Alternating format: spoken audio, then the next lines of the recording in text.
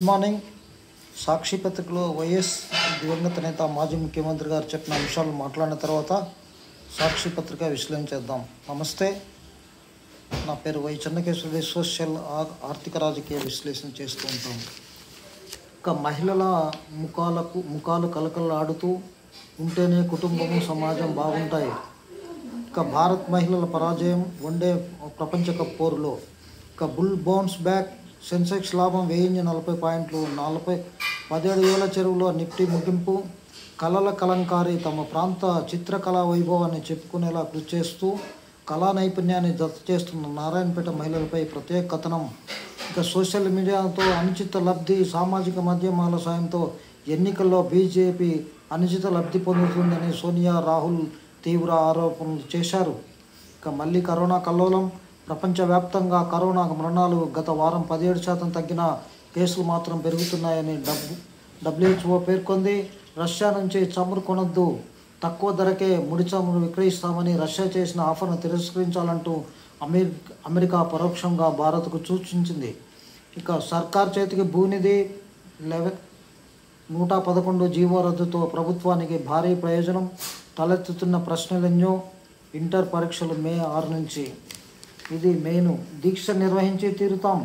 ప్రజాస్వామ్య పరిరక్షణ దీక్షకు రాష్ట్ర ప్రభుత్వం అనుమతి నిరాకరించడం అత్యంత హేయమైన చర్య అని సీఎం కేసీఆర్ ఆధ్వర్యంలో మంత్రులు ఎమ్మెల్యేలు ఎమ్మెల్సీ ధర్నా చేసినప్పుడు లేని ఇబ్బంది బీజేపీ దీక్ష చేపడితేనే వచ్చిందా అని ప్రభుత్వంపై బీజేపీ అధ్యక్షుడు రాష్ట్ర అధ్యక్షుడు బండి సంజయ్ గారు ఒక ప్రకటనలో ధ్వజమెత్తారు ఇక మనకు కరెంట్ ఇస్తాం నీళ్ళు ఇస్తాం. చాకిరే వాసుల పాదయాత్రకు సంధించిన యంత్రాంగం స్వయంగా గ్రామానికి వెళ్ళిన నిర్మల్ కలెక్టర్ ముషాఫర్ అలీ అన్ని వసతులు కల్పిస్తామని హామీ కేంద్రం అటవీ అనుమతులు ఇస్తే రోడ్డేస్తామని వెల్లడి. సమస్యలు తీర్చాలని ఆదేశించిన మంత్రి సత్యవతి ఆదివాసుల గోడు వినిపించిన సాక్షి. ఇక పార్టీ వీడాల్సి వస్తే కేసీఆర్తో కొట్లాడే పార్టీలోకి వెళ్తా అంటూ ఎమ్మెల్యే కాంగ్రెస్ కోమటిరెడ్డి రాజగోపాల్ రెడ్డి గారు చెప్తా ఉన్నారు. వార్త వంద పెరిగింది. రెండు వందల ఇరవై ఐదుకి చేరిన లీటర్ సన్ఫ్లవర్ నూనె ధర నెల రోజుల్లో నూరు పెరుగుదల ఉక్రెయిన్ రష్యా యుద్ధంతో ధర పెంచిన కంపెనీలు వారం రోజులకు ఒకసారి ప్యాకెట్లపై ఎంఆర్పి ప్రింట్ మార్పు పొద్దు తిరుగుడు నూనెతో పాటే దేశీయ ఉత్పత్తుల ధరలు పెంపు స్టిక్కర్లు మారుస్తూ ఉన్నారు. ఇక చైనాలో కరోనా విజృంభణ ఇదే నా జన్మస్థలము ఇక్కడి నుంచే కదిలే ప్రసక్తే లేదంటున్నారు సార్. ఇది జగత్తు. ఇది మనకు మెయిన్ వార్తలు. లాస్ట్ పేజీకి వెళితే స్థానికత వర్తింపుపై సందేహాలు హైకోర్టు నోటిఫికేషన్లో అభ్యర్థులు అయోమయం స్థానికతపై రాష్ట్రపతి ఉత్తర్వులు పంతొమ్మిది వందల డెబ్బై నాటి నిబంధనలు వర్తింపజేస్తామని నోటిఫికేషన్లో వెల్లడి. ఇక ప్రస్తుతం రాష్ట్రంలో రాష్ట్రపతి ఉత్తర్వులు రెండు వేల పద్దెనిమిది ప్రకారం జోనల్ విధానంలో ఉండడంతో అస్వస్థత ఉమ్మడి జిల్లాలను ప్రాతిపదిక పేర్కొనడంలో సందిగ్ధత. ఇక అన్ని రంగాలకు ఫైవ్ జీ కీలకం పీడీ వాగేల మత సామరస్యానికి ప్రతీక తెలంగాణ. ఇక బేజైన్ మాస్క్ అదాని ముందు దిగదుడిపే సెన్సెక్స్ వెయ్యి నలభై నిఫ్టీ నూట పన్నెండు పాయింట్లు పెరిగింది. వైజాగ్ వైజాగ్ స్టీల్ విలువ నిర్ధారణపై సై ఐబీబీఐ రిజిస్టర్ సంస్థలకు ప్రభుత్వం ఆహ్వానము. ఏప్రిల్ నాలుగు వరకు వాల్యూర్ బిడ్ దాఖలకు కన్ గడువు. అనుబంధ భాగస్వామ్య సంస్థల విలువలు మదింపు. చమురు దిగి రావడంతో రూపాయికి బలం క్రిప్టో ట్యాక్సేషన్తో చిన్న ఇన్వెస్టర్లకు సమస్యలు. బుల్ బ్యాంక్స్ బ్యాక్ ఇక మా లక్పేట ఐటీ సెక్టార్గా మారనున్న మలక్పేట టీఆర్ఎస్ కార్యకర్తల అత్యుత్సాహం వికలాంగుల వయోపరిమితి పెంచడం హర్షణీయము. ఇక ముఖ్యంగా మ్యాన్ ప్రమాణ స్వీకార కార్యక్రమంలో పాల్గొన్న వందలాది మంది అప్ప మద్దతుదారులు ఇన్సెట్లో సీఎంగా ప్రమాణం చేస్తున్న మాన్ ఒక్కరోజు వేస్ట్ చేయను పంజాబ్ అభివృద్ధి కోసం ఈరోజు నుంచే రంగంలో దిగుతాం. ఒక్కరోజు కూడా వృధా చేయను. మనం ఇప్పుడే డెబ్బై ఏళ్ళు ఆలస్యమయ్యాం. సోషల్ మీడియా సాయంతో ఎన్నికల్లో అనుచిత లబ్ధి ముంచుకొస్తున్న ఎరువుల కొరత చర్చలంటూనే ముట్టడి ఉక్రెయిన్పై రష్యా దాడి ఆ విధంగా జరుగుతోంది. చిన్నజైరు స్వామి క్షమాపణ చెప్పాలి. వనదేవతల మీద స్వామి వ్యాఖ్యలపై మేడారం పూజారులు మండిపాటు. ఇక పిల్లల చేతిలో పేలిన ఎయిర్ గన్. ఇక ముఖ్యంగా ముఖ్యంగా చాకిరేవులో గ్రామస్తులతో మాట్లాడుతున్న కలెక్టర్ అంటూ మంచి న్యూస్ రావడం జరిగింది. ఇంకా ఎంత ఆర్భాటం నరేంద్ర మోడీ ప్రమాణ స్వీకారం చేసిన ఖర్చు పదిహేడు పాయింట్ ఆరు లక్షలు. పంజాబ్ ముఖ్యమంత్రిగా భగవత్ సింగ్ మాన్ ప్రమాణ స్వీకారం ఖర్చు త్రీ పాయింట్ ఫైవ్ కోట్లు. పార్కింగ్ ప్రదేశం కోసం నలభై ఐదు ఎకరాల గోదాం పంటను కూడా నాశనం చేశారు వారు ప్రజ్ఞ బీజేపీ నాయకురాలు. ఇక చూపించారు ప్రతాపం.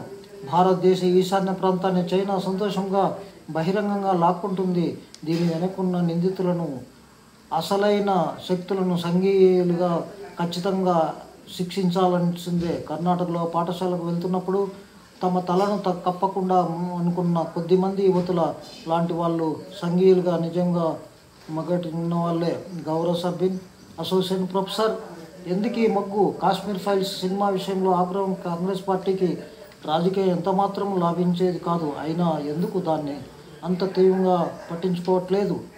ఇక ఏడిపించిన కథనం నేను కాశ్మీర్ ఫైల్స్ చూశాను. నేను ముస్లింను అయినప్పటికీ కాశ్మీర్ పండితుల నరమేధం చూసి నా గుండె పగిలింది. సినిమాకు వ్యతిరేకంగా మాట్లాడేవాళ్ళు రోగులు పండితులు మాతృభూమిలో వారికి జరిగిన దానిపై నిజాయితీని కథనం ఇది.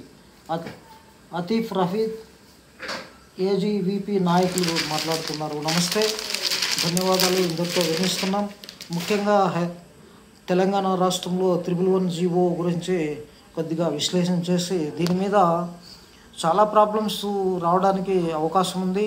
దీనికి ఏదైతే హైదరాబాద్కు తాగునీటి కోసం ఈ హిమేష్ సాగర్ ఇవన్నీ నిర్మించి దానికి నీళ్ళు రావడం కోసం క్యాచ్మెంట్ ఏరియాను ఏర్పాటు చేశారో అక్కడ వివిధ రకాలైనటువంటి ఫామ్ హౌస్లు అదేవిధంగా రకరకాలైనటువంటి అధికార పార్టీకి సంబంధించినటువంటి వాళ్ళందరూ కూడా భూ కబ్జాలలో ఉండడం జరిగింది. దాని రేటు పెరగాలంటే ఈ జీవోని ఎత్తేస్తే దాదాపు ప్రభుత్వానికి ప్రభుత్వ భూములు ఇంకా రకరకాలుగా ముప్పై వేల ముప్పై నాలుగు వేల ఎకరాలు ఎనభై నాలుగు గ్రామాలు అని చెప్పి చెప్తా ఉన్నారు. ఇది ఏదైతే గోదావరి నుంచి నీళ్ళు తెచ్చి ఇక్కడ నుంచి నీళ్ళు ఇందులో అవసరం లేదు. గోదావరి నుంచి నీళ్ళు ఇచ్చే చెప్పే ప్రభు ప్రయత్నం ప్రభుత్వం చేస్తూ ఉంది. ఇది తీవ్రంగా వ్యతిరేకించాలి. త్రిపుల్ వన్ జీవో ప్రకారం ఇది ఇప్పటివరకు ఇండస్ట్రీస్ ఏదైతే నిన్న కూడా జరిగింది ఒక ఇండస్ట్రియల్ పార్కు దాదాపుగా మూడు వందల ఇండస్ట్రియల్ పార్కులు ఉన్నాయి. ఇక్కడ నుంచి త్రిపుల్ వన్ జీవోలో ఉన్నటువంటి ఇండస్ట్రీలు ఏ ఒక్కటి కూడా బయటికి వెళ్ళలేదు. దీని మీద కూడా ఖచ్చితమైనటువంటి ఆలోచన ప్రభుత్వం చేయాలని కోరుకుంటూ నిన్న కూడా చెప్పడం జరిగింది. సిటీలో నివసించేటువంటి వాళ్ళు తాగునీరు ఎక్కడి నుంచో తెచ్చి అక్కడ ఏదైనా ప్రాబ్లం అయినప్పుడు సహజ సిద్ధంగా ఏర్పడేటువంటి చెరువులు కుంటలు అదేవిధంగా ఈ సాగర్ హిమేజ్ సాగరు రకరకాలైనటువంటి దీనికి అనుబంధంగా ఉన్నటువంటి చెరువులు కుంటలు వీటి అన్నీ కూడా నీరు నిండడానికి ప్రాంతాన్ని అదేవిధంగా నిషేధ జాబితాలో ఉంచితే మంచిదని నేను ఒక సామాజిక కార్యకర్తగా చెప్తున్నాను. నా పేరు వై నమస్తే. ధన్యవాదాలు తెలుపుకుంటూ ఇంతటితో విరమిస్తూ ఉన్నాం. ప్రభుత్వానికి ప్రభుత్వం ఆలోచన చేసేయాల్సింది ఖచ్చితమైనది. మేము త్రీ ఫోర్ ఇయర్స్ బ్యాక్ ఏదైతే జిఎంఆర్లో ఎక్స్పెన్షన్ ఆఫ్ టర్మినల్స్ అయితే ఉందో అప్పుడే చెప్పడం జరిగింది. దాంట్లో రకరకాలైనటువంటి ప్రాబ్లమ్స్ ఉన్నాయి. దాన్ని ప్రజల యొక్క హక్కులను పరిరక్షించిన ప్రభుత్వమే జీవులను తీసేస్తే చాలా ప్రాబ్లం కాబట్టి దీని మీద విస్తృతంగా చర్చ జరగాలని కోరుకుంటూ ఇంత